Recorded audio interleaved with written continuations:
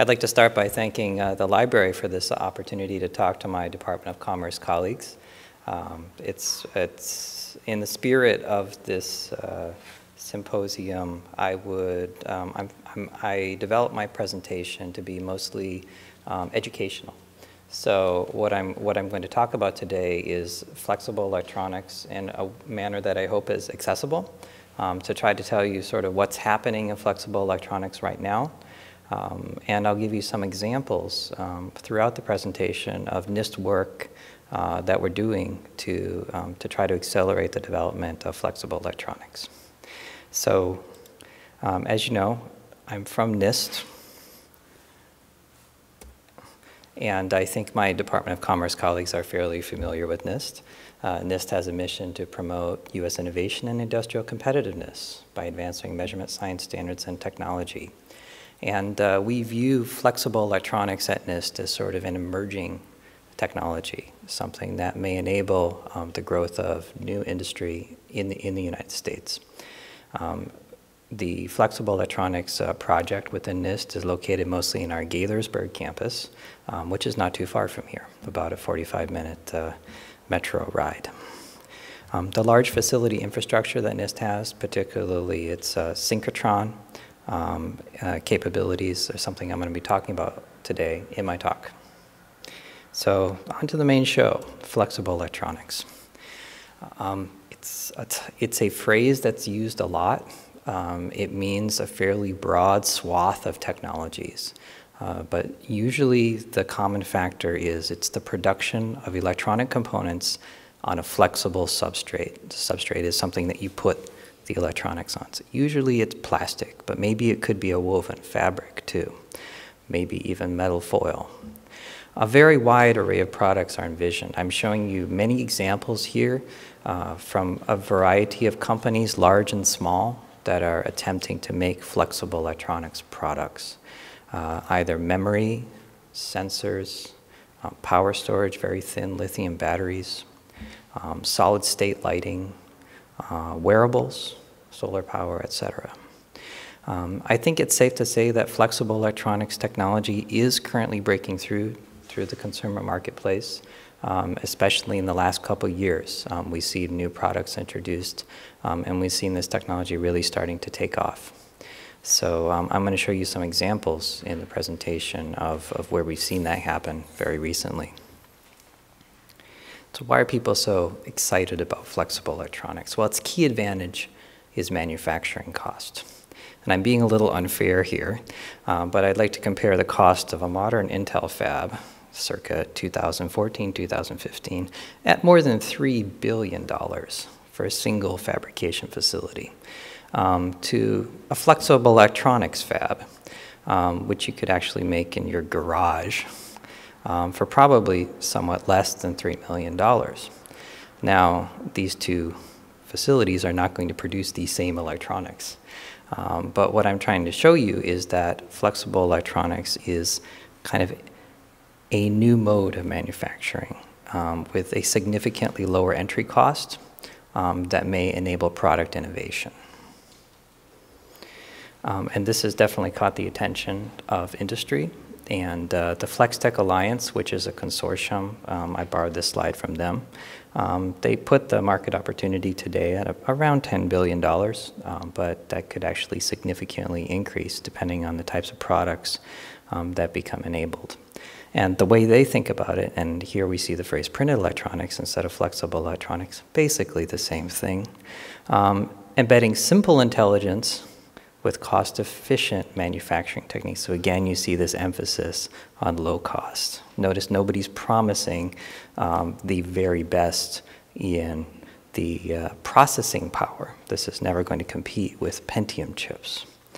Um, in fact, for, for many people, this flexible printed electronics uh, technology seems like uh, maybe a nice technology for Internet of Things uh, that is low-cost, ubiquitous electronics devices that maybe don't have a lot of processing power, but maybe don't require a lot of energy either. Um, and that might be embedded in almost anything. And so here I'm showing you um, a cute little example of a milk carton. Um, and imagine if when we're making that milk carton and we're printing the graphics and the text, we could also print some electronics. We could print a simple power supply. Um, we could print a simple sensor that might be able to tell you the temperature of what's inside. Um, a simple processor and RFID communication. It doesn't need to do complex calculations. It just has to communicate what's going on inside the container. Um, what if we could do that by adding only a couple of cents to the cost of the, the printing process? That's the kind of vision that drives printed flexible electronics. So the idea here is that we would borrow tools, fabrication tools, from graphic arts. And by, by that I mean anything that's used to, to make printed or graphic media um, to actually fabricate electronic devices, circuits, displays, solar, etc. Um, in addition, because you're usually printing on something that's flexible, you get this flexible form factor. And this gives you some, a significant latitude for product innovation. People can make different kinds of devices, and I'll show you some of these later on a flexible substrate compared to a hard substrate. Um, in a way, it kind of complements the maker uh, revolution that's currently going on because with printing, you could have bespoke functionality. You could design a circuit, print it, test it. If you don't like it, change it, print it again. Um, and, and that leads to a sort of rapid prototyping. So again, one thing I want to emphasize here, nobody in flexible electronics is suggesting that it is going to replace our Intel i7 processors. Um, this is going to be new products and new materials from new methods of production. A new manufacturing technique. So just to start into some of the specifics. How would we print electronics? Well, I think most of us are familiar with inkjet printers. Um, inkjet printers work with either a simple uh, piezo or a simple um, thermal process which expels a little droplet of solution. Um, and when I say simple, it's not simple at all. Um, in fact, we have a group at NIST that focuses exclusively on the physics of droplet deposition by inkjet because it is a really complex process. Um, but the idea here is that if your ink can dry to make conductors, dielectrics, semiconductors, you could use inkjet printing to make circuits. Um, and this is something that you would like, for example, if you were doing a maker style project where you want to be able to change it rapidly because the inkjet can make almost anything you like. All you have to do is change the software and you can print something different. It is, however, slow. It's what we call a, a serial process. The inkjet can only do one drop at a time um, and it draws over the surface. And so that's one reason it's difficult to make an inkjet printer extremely large. And I'm showing you here some examples um, in industry of different kinds of inkjet printers that one might use for printed electronics. So these are special. They are better printers than you would ever print graphics on because they can print smaller. Um, even this uh, small Dimatix printer here um, can print with about 10 micron resolution, which is smaller than your eye can discriminate. So it can print simple conducting lines, semiconducting lines. Um, and then this can be scaled up to a larger size, like this Litrex printer here. But if you wanted to make a lot of flexible electronics very rapidly, you're probably going to have to go back to what is essentially the cousin of the newspaper press um, which is a, what is called R2R or roll-to-roll style deposition using something like slot die or gravure printing. Um, and slot die is um, kind of exactly what it sounds. There is a die, which is a essentially a metal enclosure um, with a hollow center through which ink is forced, um, and it's basically smeared onto a moving substrate. That's it. Um, again, it sounds simple, and the physics of it are quite complex. Um, if you use something like gravure, the coating physics are a little different, um, but by having a pattern on this roller, you're able to produce pattern circuitry. Uh, now, this is not something where you're going to do rapid iteration. You're going to have to have this, this roller manufactured with the pattern on it. And so this is something you only use once you know exactly what you want to make, uh, because it can be very expensive to retool your, uh, your gravure roller. This is an incredibly fast, high volume kind of coating process. Um, with simple unpatterned slot die, this is something you'd probably want for solid state lighting or photovoltaics. Um, for, for gravure, something like high volume circuit patterning. And basically, you can scale this up enormously.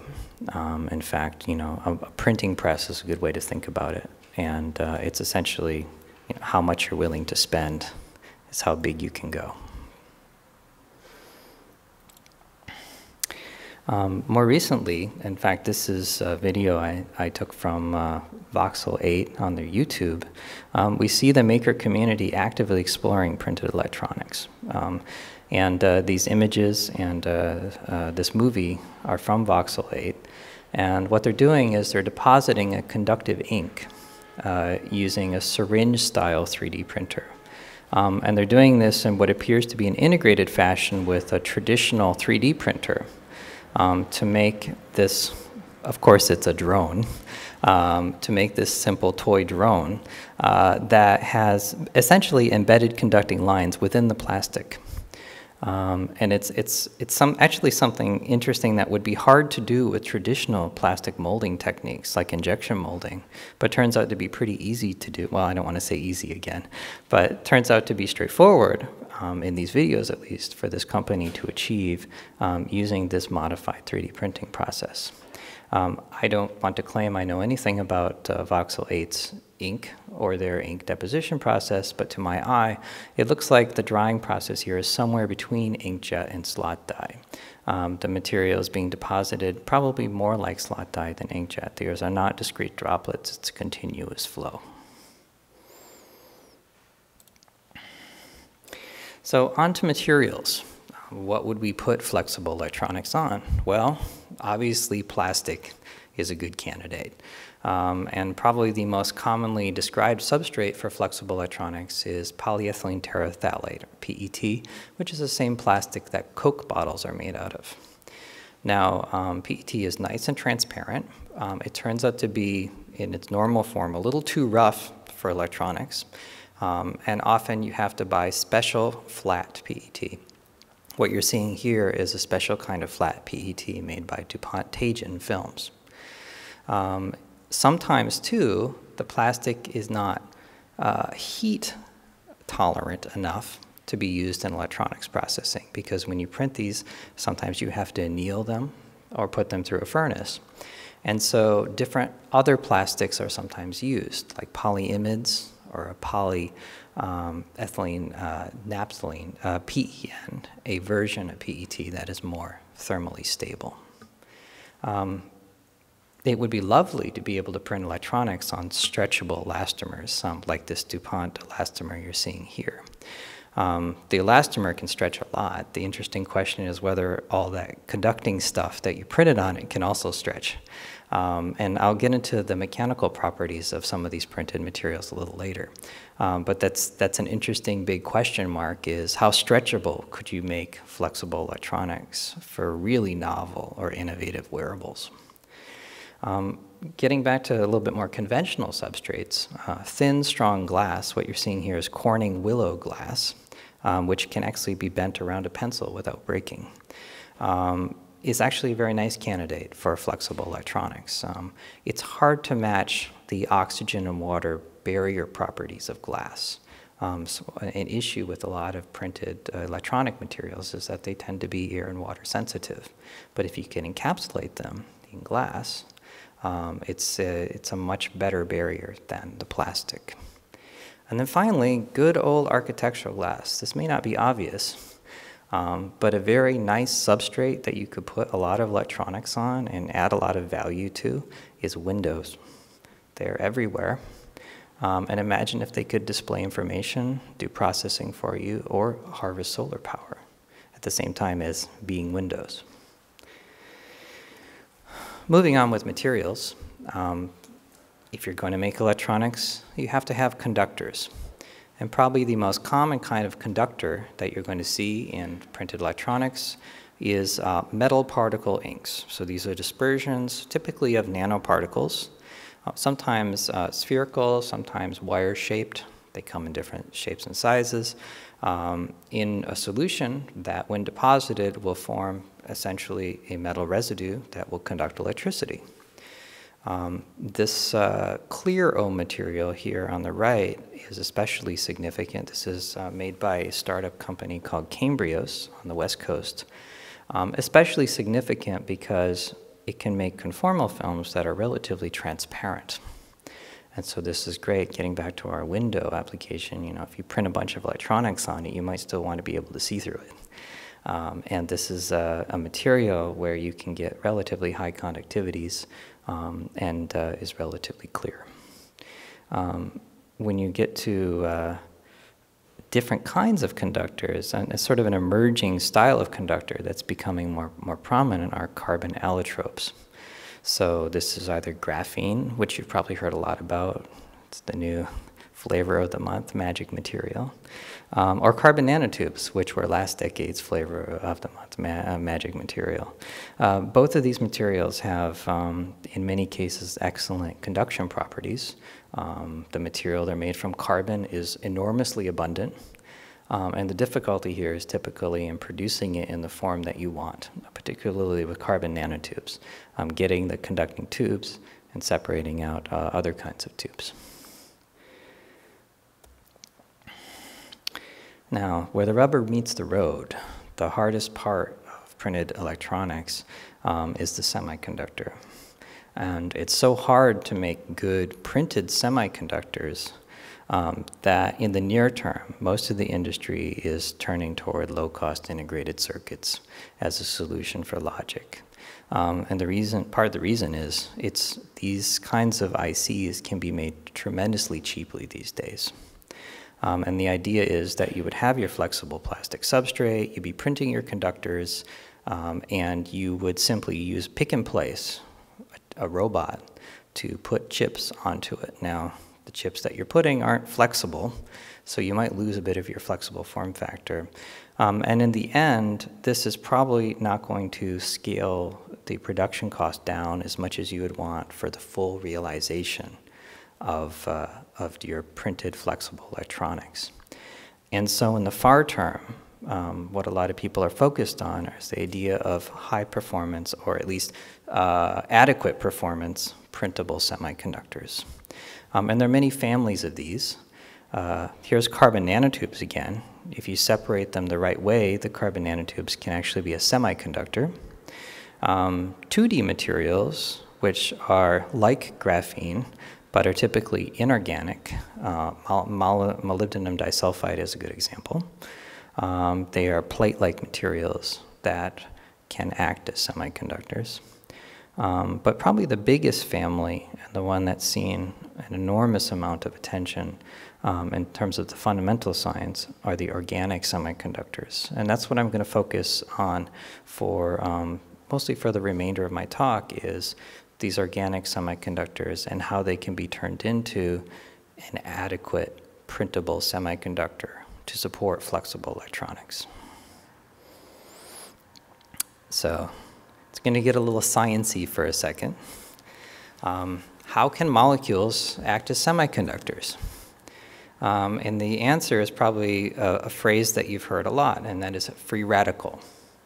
Um, the basic idea here is that if you have an organic molecule with lots of alternating single and double bonds, um, it becomes relatively straightforward to either take away or add an electron to it. And when you do that, you create a charge carrying state. And so here I'm removing an electron from this molecule, which has lots of alternating single and double bonds. And now I have this moving charge, which is a positive um, polaron, which can carry charge along the molecule. So um, that's a relatively simplified version of it. There are a lot more details when I'm showing you down here. But what I want to point out is, is that if you remember from freshman chemistry, this concept of aromatic resonance, where this, uh, you have this benzene molecule, and you can draw the double bonds either this way or this way, and it's the same. Um, that's basically the same concept whereby this polaron is able to move along the molecule um, by, by moving um, through the pi cloud that is delocalized over the molecule. Now, in printable semiconductor, you're not just going to have one molecule, you're going to have a bunch. And, and I feel it's important to emphasize why organics are so different than inorganics. So in an inorganic semiconductor like silicon, it's a covalent crystal. That means there are bonds between all the atoms. Um, it has extremely high mobility of the charge carriers. And the way you process silicon is by first making a perfect crystal and then cutting it. In contrast, in organics, there are gaps between these molecules. So it's what we call a van der Waals crystal. So any charge has to hop from molecule to molecule. That's a key difference. The mobility tends to be lower because of that hopping, and also because the dielectric constant is lower. Um, and most importantly, and this gets back to the difficulty in making printed semiconductors, the structure that you get, this crystal structure here, forms dynamically as the ink dries. So instead of like silicon, where we first can make a perfect crystal and then cut it how we want it, here we print it and hope that it forms the perfect crystal structure to get the kind of performance that we want. Um, and it often doesn't. And this is one of the key reasons that printable semiconductors has been so challenging in the flexible electronics community. It all depends on how the ink dries. You know, back in the graphic arts printing days, it just has to look good. Now we need it to actually do something, and sometimes do it well, in order to make a functional printed device. So for the rest of my talk, I'm going to talk. I'm going to discuss three key organic electronic devices: um, organic thin film transistors, OLEDs, and OPV. So in the transistors, um, I'm just giving you a very brief tutorial on how these things work. Um, basically, you have a channel that extends between the source and the drain labeled electrodes. We put a voltage on the gate, and that creates charges in the channel, which allow you to move current between the source and the drain. You'll notice that there isn't a lot of current flow through the gate, but there's a lot between the source and the drain. So essentially, this thing acts as a switch. As you put more voltage on the gate, you get more current through the source and the drain. Um, here's an example of a typical OTFT solution. Um, they come in all sorts of colors. Um, the ones that are red, orange, and purple tend to work the best. Don't ask me why. Um, here's an example of a new product that has very recently been announced that's based on OTFT. That's Polyera's Wove Band, which was announced earlier this month. Um, it's based on an organic TFT backplane.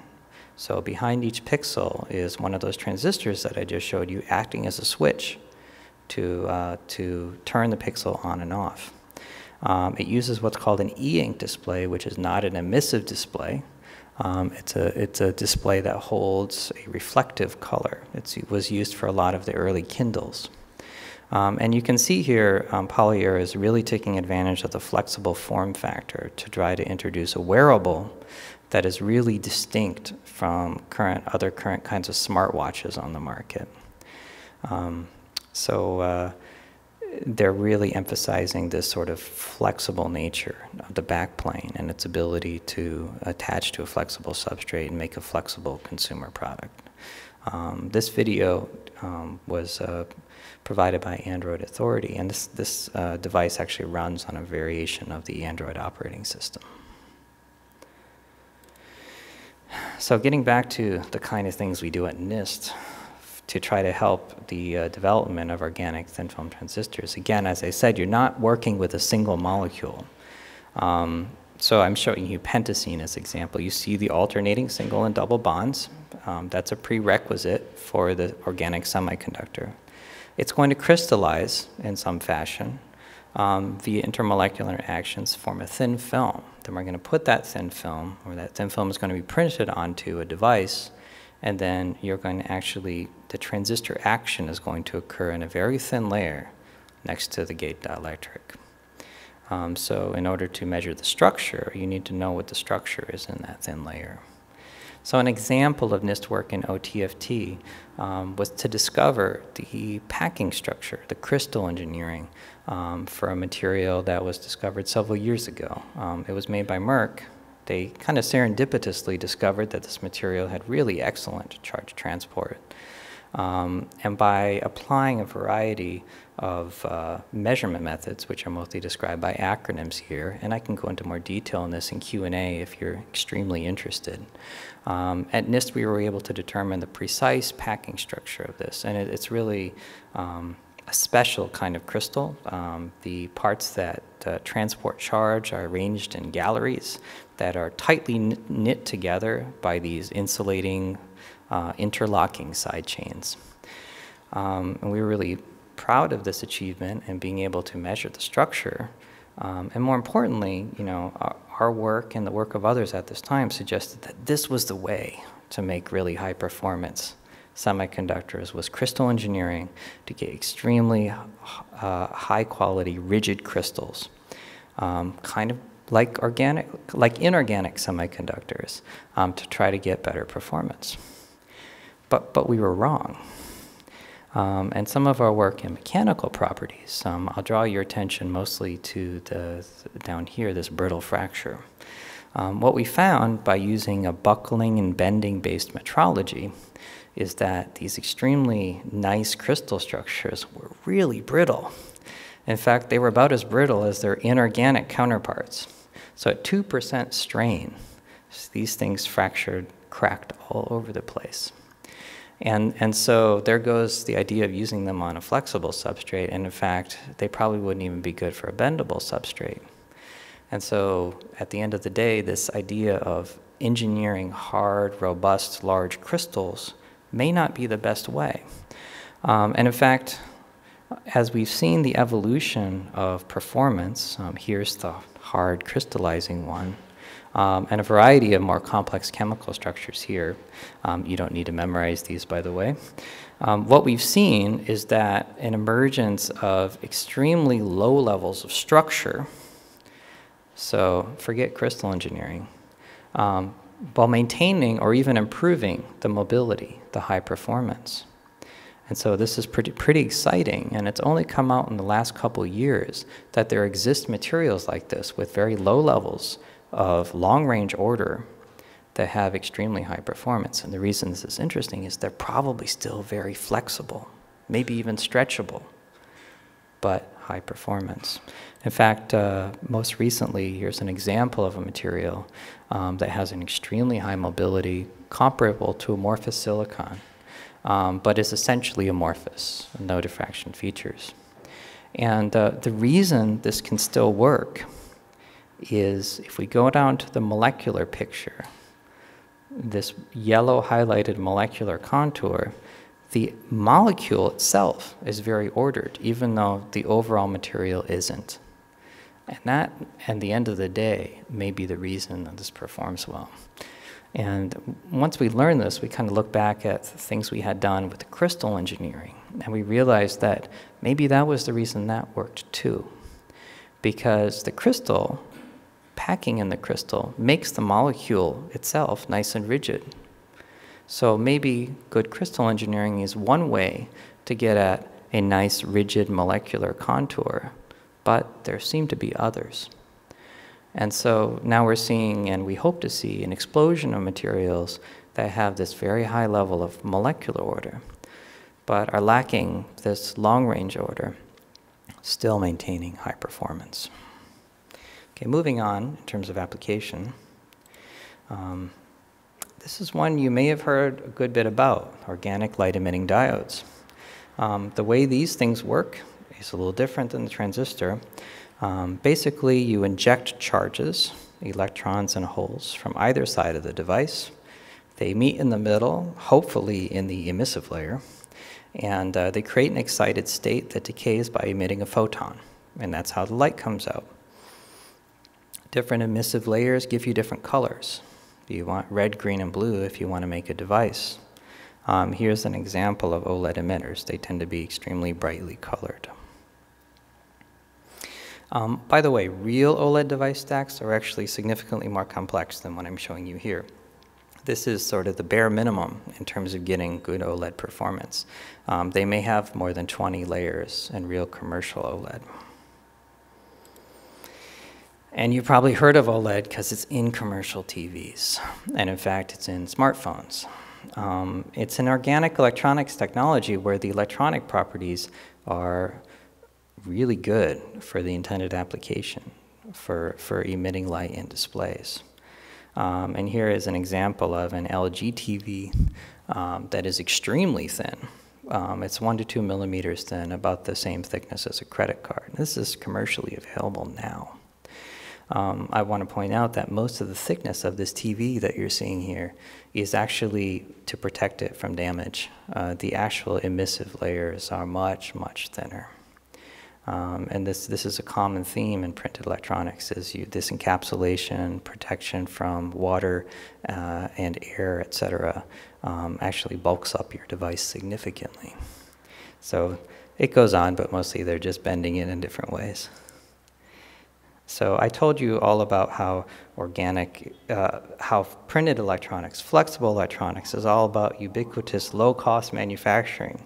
And those of you who looked into OLED TVs know they're extraordinarily expensive, right? Why? Well, they're not made using flexible electronics approaches right now. They're made using traditional semiconductor uh, fabrication approaches because it's much more controllable. And so they use vacuum deposition to make these, uh, to make these displays because they can control the thickness and uniformity of all those layers. And so they pump down uh, these, these uh, cluster tools to near space pressures, really, really low pressures. Um, and then they evaporate all these different layers onto them. And it, that's why it's so expensive, because the vacuum chamber cost scales exponentially with the size of the vacuum chamber. And the trend in the display industry is to keep on making these things bigger and bigger. In fact, for, uh, for this is a single sheet of Gen 10 glass, which can be made into six 65-inch displays. Um, and so this is the issue with OLED right now. But what we'd like to see is an OLED technology based on flexible electronics approaches, um, like solution process OLED. Um, there's not a lot about this on the web right now because there are probably, probably a lot of stealth efforts going on, um, particularly in Japan, Korea, uh, to develop OLED printers. Here's an example of an early OLED printer that looks like it's accepting Gen 9 glass. Um, and uh, it's much harder to print OLEDs than it is to thermally evaporate them. Um, you have to get the thickness exactly right. You need to be able to print very thin, uniform layers, layer interactions. So that may be one of the key difficulties. And uh, to illustrate this, imagine, you know, so I said there may be up to 20 layers, right? So imagine printing, and as you print, the subsequent layers are delivered in a solvent that may dissolve the layers you already printed.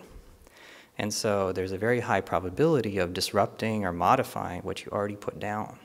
There are a lot of approaches to this. Uh, perhaps you could cure or fix or cross-link the material that you put down so that it no longer soluble when you do subsequent printing steps, but that adds steps to your production. A different way would be to use what are called orthogonal solvents, solvents that um, uh, do not dissolve the layers underneath. That, but trying to find 20 different completely orthogonal solvents is essentially impossible aren't that many kinds of chemicals or liquids on Earth. And so there are a lot of challenges, but imagine the payoff. So imagine OLED displays, TVs, being produced essentially by newspaper presses. It would cause the cost of OLED displays to plummet, and it would change how we think about display surfaces. It would essentially permit you to make wallpaper-like displays that were nearly ubiquitous. Or, you know, window laminates. You know, why not have a window that displays information too if it costs almost the same? Um, you know, and I think, I personally think this is right around the corner, 10, 20 years out perhaps, um, but we will see in our lifetimes probably um, solution processed OLED displays at extraordinarily low cost. So an example of uh, NIST work in OLED, um, our partner Solvay OLED was developing a printable electron blocking layer using one of these strategies I told you about before to try to keep it from redissolving. And what they found is that by modifying the chemistry, there's a lot of ways you can modify the chemistry, um, they could greatly increase the device lifetime or efficiency by changing the, uh, the electron blocking layer.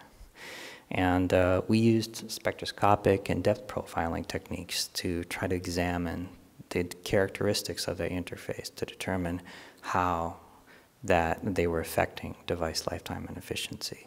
Um, I can't go into more details here, but uh, this is an example of the kind of issues that are facing solution printed OLED.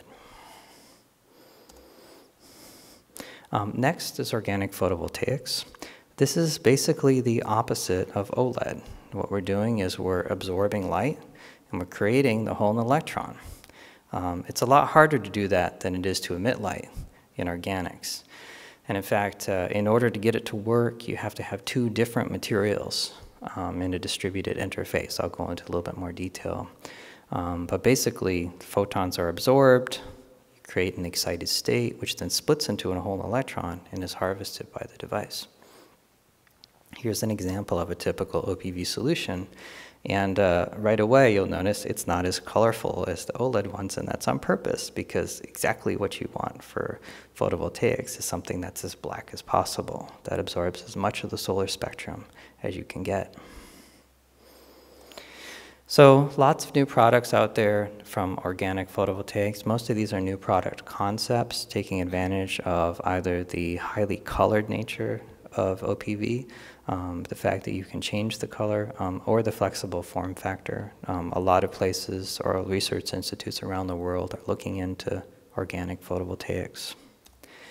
Um, the umbrella, I think, is especially cute um, or you know uh, small chargers for uh, for example for personal handheld electronics um, that might work in, in any environment that has that has ambient light.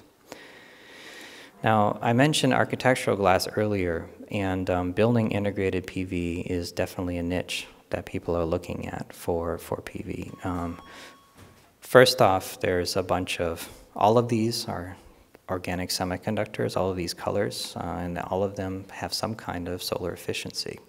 Um, so you have a lot of options when you're, when you're designing with OPV. Um, furthermore, the flexible form factor and the lightweight mean it's relatively easy to make modules that can be integrated on current architectural glass. So what you're seeing here is a Mitsubishi chemical OPV test facility. They have some of the highest OPV efficiencies in the world. Um, and what you're seeing here are these darker windows have OPV modules on them. Um, and what they're looking at, um, you know, walking around DC, um, during the summertime, you catch a lot of glare off the windows, right? The windows are glazed to be reflective, so light doesn't go in and heat up the offices too much. But imagine instead of reflecting that light, you can instead absorb it by putting simple, you know, flexible panels on it then you get the glare reduction, you don't get the, uh, the light into the uh, office, and you're harvesting electricity at the same time. That's the kind of thing they're thinking about with these kind of building integrated PV. Uh, PV, OPV works pretty well in low light conditions too, like this room, for example. Um, so this is another early niche. Um, and this is mostly because the active layer is an organic material. Um, and with a lower index of refraction, it accepts light better even from lower angles. Um, and so if the light is coming at it obliquely, it tends to perform better than an inorganic material. Um, a little bit of science again, so please indulge me. Um, the organic heterojunction I mentioned earlier um, has a more complex operation um, than an OLED. Um, and so it can kind of be broken into steps. The first step, obviously, is absorption, where we absorb the incident light. That creates an excited state called an exciton. In organics, the exciton has to diffuse to an interface with a potential offset to split. Now, in inorganics, usually the exciton splits automatically at thermal energy. So there's a big difference here between organic and inorganic photovoltaics. Um, the interface has to kind of be within 3 to 10 nanometers of the site of absorption, or you lose the exciton. Um, and then once it's split, you then have to carry the hole and electron to their respective electrodes. Now, a, a key uh, conflict here is that the film needs to be about 100 nanometers thick and to, in order to absorb a healthy amount of light. But the interface has to be within 3 to 10 nanometers of where you absorbed it. And so what this means is there has to be interface everywhere in the film in order for this to work. And so that's where this bulk heterojunction idea came from. And the basic idea here is that you would take your two materials, um, dissolve them in the same solution, and cast them, and hope that you get this finely divided, ramified structure um, where interfaces everywhere. You know, maybe the domains are only 10 nanometers wide. You still have 100 to 200 nanometers of film thickness. You can absorb a lot of light. Um, and then hopefully there are actually ways that all the charge can get out of that thing. Um, it's kind of amazing that this works as well as it does, to be honest, um, because it's usually done without a lot of um, control or forethought. Um, and as you might expect, it's kind of become an object of fascination um, in the research community about how might we manipulate the structure um, using you know, complex uh, molecular approaches like block copolymers or supramolecular chemistry, ways to tailor uh, organic material on the nanoscale. There have been a lot of attempts at this. Um, sadly, most of them, in fact, all of them, besides simple blending, tend to fail. Um, and simple blending still works the best. Um, and a large part of our, uh, our research program in NIST has been just to determine the structure that is there as opposed to you know how to control the structure because you know we kind of want to know what we're starting with with the simple blending. And so an example of NIST work in OPV I'm showing you here is an advanced electron microscopy technique, which uh, distinguishes structure in the active layer. The uh, red stuff is the polymer, and the blue stuff is the fullerene from the, uh, the picture I showed you previously. This entire image is only one micron wide. Um, it's a full tomogram, so we have three-dimensional uh, image capability. And uh, we can see where everything is. And using this technique, we're kind of able to tell how the structure forms. Um, so on the left, you have an image that is detected by what's called dark field microscopy, which detects only crystals. And on the right, you have an image extracted from the tomogram I showed you on the previous slide. And what I want to draw your attention to is that these fibrils are essentially the same structural unit that you have in the overall composition. The conclusion here is that the crystallization of component one, that's the polymer, is what's driving the structure formation. Good old-fashioned crystallization. It's nothing special. It's not any of those fancy nanostructure, you know, control techniques. Just so happens that for a wide variety of organic semiconductors, they tend to make crystals that are just the right length scale for this to work. Again, it's amazing that this works at all. And only because of that serendipity has it worked with these materials. So very proud of this achievement. What we're currently struggling with is uh, the realization that even if though we can see these compositional connections, they don't necessarily describe the transport pathways. And so, you know, we have kind of blurry white and dark regions here representing different compositions. Um, and we might assume that those compositional connections describe transport pathways, but what we're, as a community, realizing is that there are a lot of mixed regions in between these domains, um, and a lot of the charge transport may be happening in a way that's kind of invisible to us in these mixed regions or interfaces between regions, um, and not along what appear to be superhighways for charge transport and really aren't. So I'm going to change gears a little bit, and for the last part of my talk, um, talk a little bit about how um, government industry are turning to manufacturing. And so um, first off, I want to thank Eric Forsythe at ARL for this slide. Um, our, uh, the uh, government, the Department of Defense, just in August, established a new flexible electronics manufacturing innovation institute. Uh, this has $75 million in federal funding and an equal or larger amount of matching funds from industry. Um, it is, has, definitely has a DoD style flavor, um, as you can see from some of the graphics. Uh, but it is intended to bootstrap um, flexible electronics to get it over sort of the valley of death um, and into a viable uh, manufacturing marketplace here in the United States. And um, the winner of the uh, competition for this was FlexTech Alliance, an industrial consortium that's focused on flexible electronics. Um, and I want to thank them for this slide, which describes their demo project um, in, a, in, a, way that hopefully will help convey sort of some of the excitement around flexible electronics. Um, because flexible electronics has this flexible form factor, it's actually a favorite technology for the human-machine interface. Um, and what they're focusing on here in this demo project is an idea of essentially a bandage or sweat sensor that can be applied to the human body directly um, that contains sensor pack and communication capability to communicate with a handheld device. Um, and this is for performance monitoring and health monitoring in the field for the soldier. And uh, there are more complex versions of this that are imagined, but this is sort of a proof of concept that they're hoping to scale up. Notice that they want to include both roll-to-roll and pick in place. This is putting the integrated circuits on it. And eventually, we hope that we'll see devices like this that will use printable semiconductors, but for the near term, we're going to see pick-in-place silicon. Now at NIST, we're focused on manufacturing too, to try to help flexible electronics become a mature community. And, and as I tried to emphasize, there are a lot of variables in high-speed commercial production, particularly formulation, drying, um, multiple material interactions, which I've emphasized.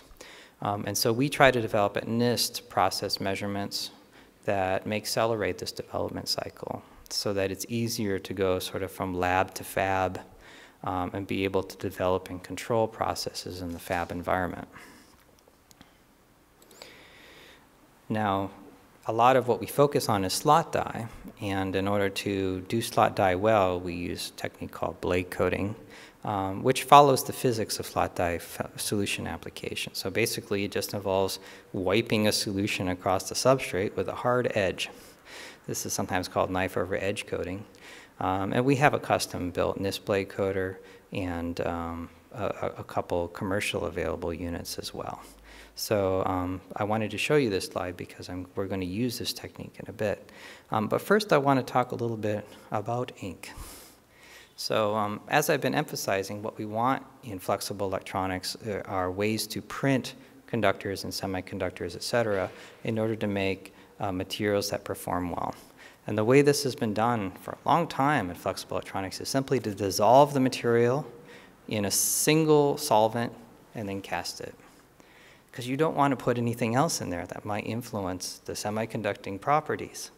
Um, but when we think about graphic arts ink, it's the exact opposite. They're complex formulations. Even simple ballpoint pen ink has dozens of ingredients. Some of the ingredients in the ink have ingredients lists themselves.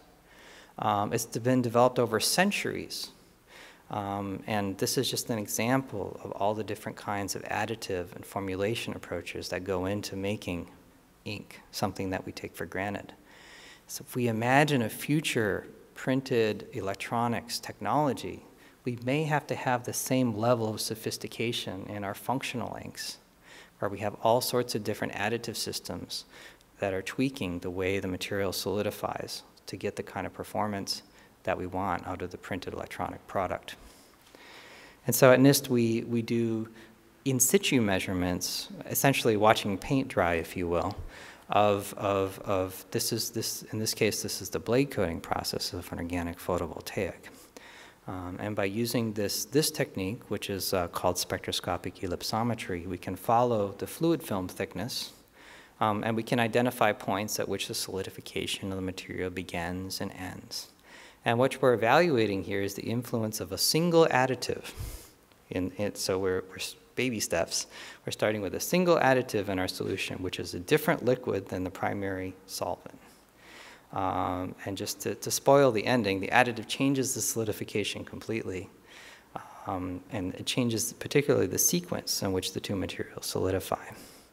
And so we can do this either with optical techniques or we can actually take this to the synchrotron. Um, and here you see the, uh, basically the same idea, in situ blade coating. Um, in a synchrotron beam with the X-ray beam on, um, if we can follow the fluid film thickness with an interferometer, um, and we can capture the crystallization of the material. And in organic photovoltaics, that's what's driving structure formation, um, as I showed you earlier. Um, this is, requires a fairly automated system to do the data. Um, let me see if I can play this. I can't get it to play. Um, the, uh, the, the diffraction pattern that forms sort of evolves as the material dries. Um, and with about 100 millisecond resolution, we can capture where the solidification of the crystallization begins and ends. And our goal here, um, and I don't expect you to, to, um, to focus on the details here, but just it allows us to draw a cartoon, a conceptual cartoon of exactly how this material solidifies. Um, and uh, what we see is that originally we have one solution. The primary solvent dries off, resulting in the crystallization, um, and the additive forms a separate solution that contains, uh, in this case, the fullerene material. And by removing the fullerene from the primary solution, it actually lets you crystallize more. And so then the additive dries off, and you end up with the final morphology. And so there's a very, what I want to convey to you is that there's a very complex solidification mechanism in the single ink with a single additive. And what we're developing are methods, measurement methods, in order to follow those solidification mechanisms. And we hope to convey those approaches and information to industry to help them to better, develop better materials, better formulations, better processes. Um, and eventually, hopefully, some of the optical versions of these could be used for process control to keep a high quality you know, material being coated um, in an inline manner. Um, at Inc, we have a, at NIST, we have a roll-to-roll unit, um, which is designed precisely for this. Um, it, is, uh, it allows us to do inline measurements of the wet film. Um, this is with a slot die coating, although we hope to adapt it to a gravure later. Um, and uh, many materials, not just OPV, but a wide variety of materials that might be coated conformally.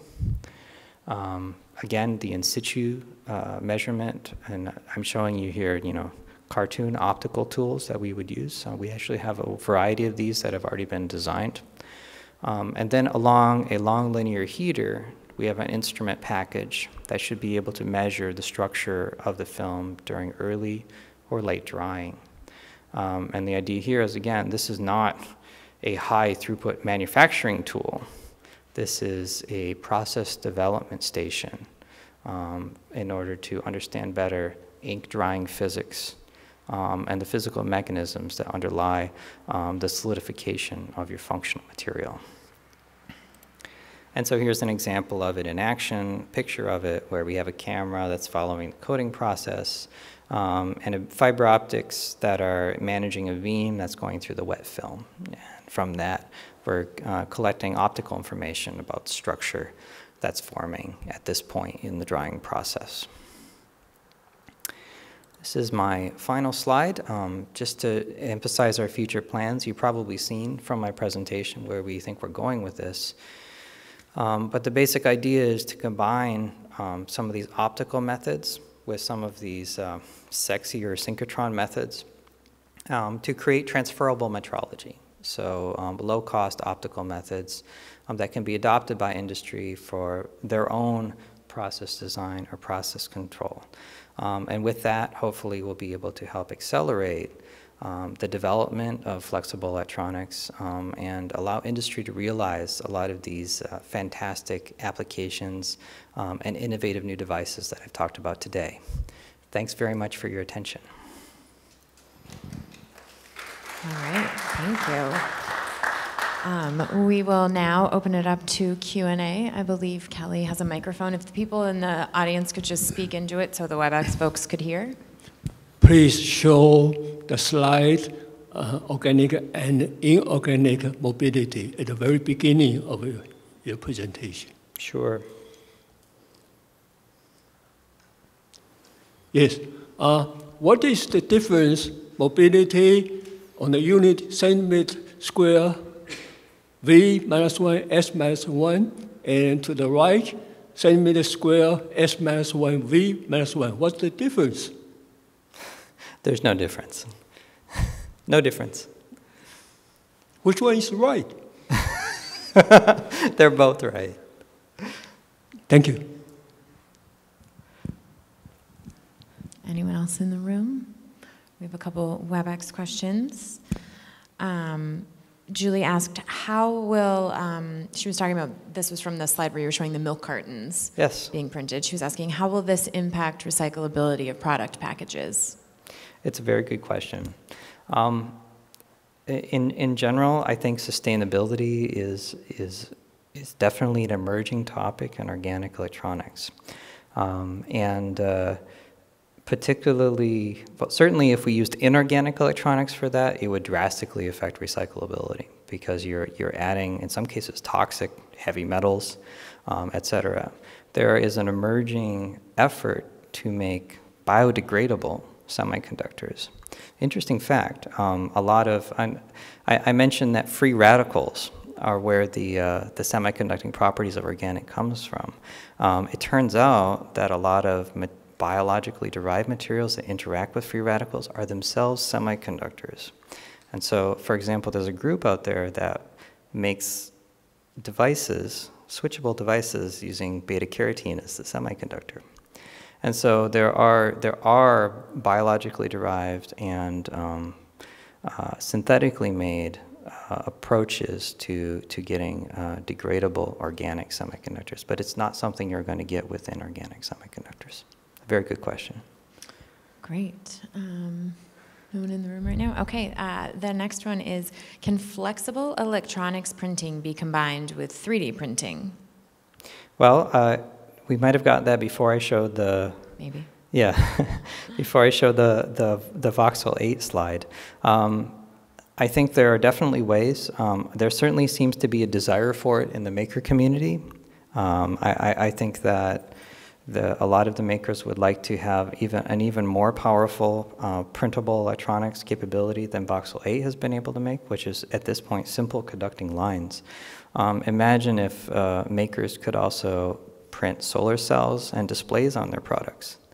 Um, and, and I think it, it's one of those things where there's no fundamental barriers, but there are a lot of tough engineering barriers to getting there. But I, I think, yes, we will eventually see um, 3D printing with those capabilities. Great. Um, is there any research covering the use of liquid suspended conducives? Conduct, maybe, so um, maybe the questioner is referring to conducting inks. Mm-hmm. Um, and the answer is absolutely. Um, the most, most conducting inks are suspensions, or if you like, dispersions, um, stabilized particles in liquid. Uh, in, in the case of the silver particles or something like the ClearOhm material, they're metallic particles. Um, in the case of graphene, carbon nanotubes, it's these inorganic particles. Um, the research themes uh, around these kinds of inks mostly relates to um, how the contacts between particles are formed. In fact, there has been an enormous amount of industry investment, most of which I'm sorry to say has failed, and trying to make carbon nanotube inks that work. Um, and the reason that they fail is because it's really, really hard to get good contact between the carbon nanotubes. The carbon nanotubes themselves are perfectly formed charge transport highways, but you can't transport charge along just one tube. You have to do it through a tube mat that dries down. And it turns out that the tube-to-tube -tube resistance is what kills you every time. Um, and there are probably related issues in graphene um, and in metallic nanowires. And again, the issue usually comes down to uh, particle-to-particle contact in the dried residue and how that affects conductivity. Okay, great. Anyone else in the room? All right, I have one final WebEx question. Um, someone asks, you mentioned elastomeric substrates? Yes. Does stretching a printed layer of organic semiconductor improve the alignment of molecules? Uh, somebody who knows something about it. Um, the answer is sometimes. So um, let me find that slide. Uh, when we were doing this work, um, what, we what we discovered is that um, you can actually get strain-induced orientation if the material, the organic semiconductor, is sufficiently ductile. Um, and that means a material that is actually low crystallinity, not high crystallinity. Uh, when you get strain-induced orientation, um, it tends to improve the semiconducting properties, the mobility, in one direction, um, and it disimproves them in another. And so what you get is a, a film that has an anisotropic semiconducting quality, uh, which has some interesting potential device applications. Um, but this idea of an anisotropy in the transport properties is something that's intrinsic um, and all over the place in organic semiconductor research. And um, by orienting, by stress orienting, or by, um, I'm sorry, strain orienting, or by casting materials directionally and creating oriented uh, films, um, it provides a very powerful way of looking at that charge tra transport anisotropy in organics. Great. And I actually have one more question from WebEx. Sure. Um, are there incubators around the country looking at this technology? Is it regional? Um, yes, there, there are a wide variety of, of small, small companies. I don't know about incubators per se, but there's certainly a lot of startup activity. Um, Polyera, the company that made um, the Wove watch, um, it is an example of a very long-lived startup. Um, it was started in 2005, and a decade later, it has a product. Um, this uh, long sort of latency between starting the startup and actually having a product is what we're trying to address with a lot of the measurement techniques that we're trying to bring to bear here. Um, what, what, what we're dealing with is a fundamental new materials ecosystem and it takes an enormous amount of time to mature those materials and the knowledge of those materials and bring them into the commercial sphere as a, as a finished product. Okay, great. Anyone else? Final call? All right. Thank you so much. This was a Thanks, great everyone. presentation, and we appreciate you coming. Thanks, everyone.